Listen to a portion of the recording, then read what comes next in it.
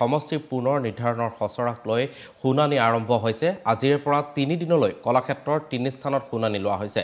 বিয়লি দুই বজাৰ পৰা শুনানি আৰম্ভ হ'ব নৰখন জিলাৰ কামৰূপ মেট্ৰ' পশ্চিম কাৰ্বি আংলং চিৰাঙৰ শুনানি বাক্সা ডিমা হাছাও কামৰূপৰ ওদালগুৰিৰ লগতে কাৰ্বি আংলং আৰু কোকৰাঝাৰৰো শুনানি ই চিৰ বিছ জুলাইত ন বাজি ত্ৰিছ বজাৰ পৰা দুই বজালৈ শুনানি দ্বিতীয় দিনা তেৰখন জিলাৰ শুনানি ল'ব আয়োগে। গোৱালপাৰা বঙাইগাঁও বৰপেটা নলবাৰীৰ শুনানি।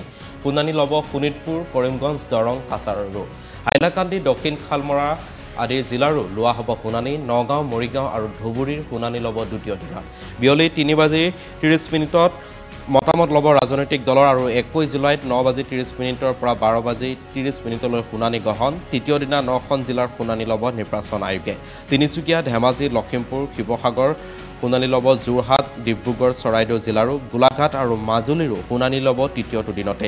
দল সংগঠনে আনিব পাৰিব পাঁচতকৈ পাঁচজনকৈ লোক পাঁচতকৈ অধিক লোক আনিব নোৱাৰিব দল সংগঠনে। আয়োগে পাইছে পাঁচ শতাধিক ওজৰ আপত্তিৰ আবেদন। আমি জনাইছোঁ সেই খবৰ যে অসমত বৰ্তমান দেশৰ নিৰ্বাচন আয়োগৰ দল আহি উপস্থিত হৈছে আৰু পুৱাৰে পৰা সমষ্টি পুনৰ নিৰ্ধাৰণৰ খচৰাক লৈ শুনানি লৈছে ইতিমধ্যে আয়োগে আৰু আজিৰে পৰা তিনিদিনলৈ কলাক্ষেত্ৰত তিনি স্থানত শুনানি গ্ৰহণ কৰা হ'ব।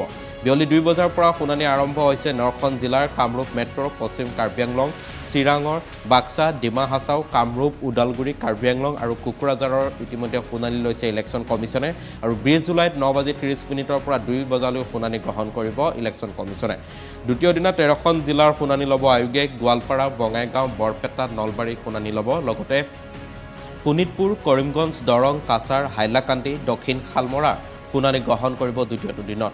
নগাঁও মৰিগাঁও ধুবুৰীৰ শুনানি ল'ব দ্বিতীয় দিনা আৰু বিয়লি তিনি বাজি ত্ৰিছ মিনিটত মতামত ল'ব ৰাজনৈতিক দলসমূহৰ। একৈছ জুলাইত ন বাজি ত্ৰিছ মিনিটৰ পৰা বাৰ বাজি ত্ৰিছ মিনিটলৈ শুনানি গ্ৰহণ কৰিব নিৰ্বাচন আয়োগে।